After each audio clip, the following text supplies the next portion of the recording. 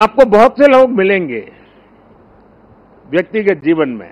और खास करके टीन एज ग्रुप के जो लोग होते हैं, उनसे अगर बात करेंगे, अगर उस समय क्रिकेट की सीज़न चलती है तो उसका मन करता है, यार, एक अच्छा क्रिकेटर बन जाओ। दिमाग में रहता है, यार क्रिकेटर बन जाना है।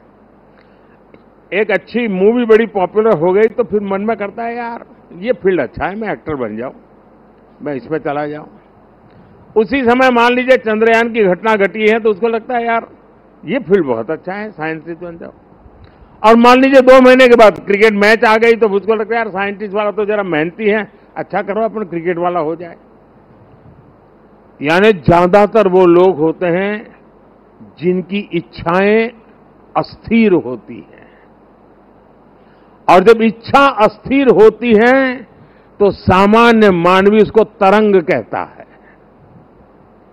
उसको लगता है यार तो तरंग ही है। एक सुबह एक सोचता है, दोपहर को दूसरा तो इस पर बात मत करो यार ऐसे ही वो हुड़दंगबाजी करता रहता है।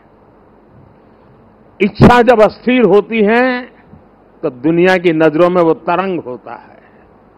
लेकिन जब इच्छा स्थिर हो जाती है, और उसके अंदर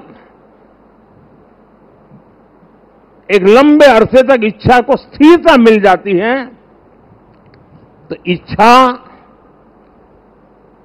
उस प्रक्रिया से गुजरती है जो संकल्प में बदलती है। इच्छा अगर अस्थिर है तो तरंग है।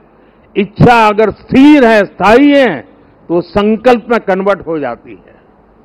और संकल्प के अंदर जब परिश्रम की पराकाष्ठा जुड़ जाती है, तब जाकर के सिद्धि प्राप्त होती है। और जीवन के हर काम को हम उस दिशा में देखना चाहिए। इच्छा प्लस स्थिरता is equal to sankalpa, sankalpa plus parisam is equal to siddhi.